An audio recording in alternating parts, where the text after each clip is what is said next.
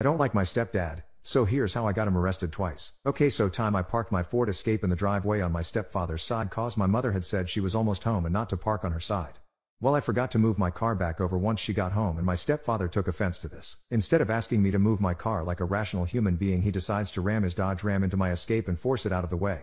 Unfortunately, the bars I had on the front looked like this did far more damage to his truck than expected. So I hear the racket and go to see what was causing the noise only to find my SUV at the end of the driveway and him staring at the back end of his truck.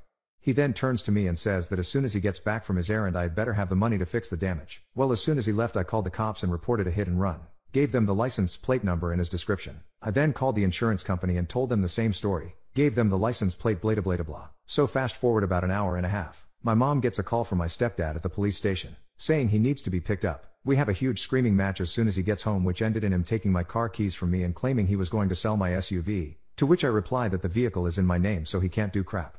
Oh BTW there was next to no damage to my vehicle from the impact. I'm just glad that he didn't have his trailer hitch on. Next morning surprise surprise my SUV is gone. So I confront my stepdad about it. He looks me straight in the eye and says I told you I was going to sell the piece of crap and that is exactly what I did. So while he was still glaring at me I pulled out my trusty phone and called the cops again, this time to report a stolen vehicle. As soon as I told the cops his name, he took off running, his truck was still in impound. This time I go to the police station with my mother. When the cops ask if I want to press charges I just told them if he gives me my SUV back then no but if he refuses then yes, yes I would like to press charges. Turns out he sold it to his brother E.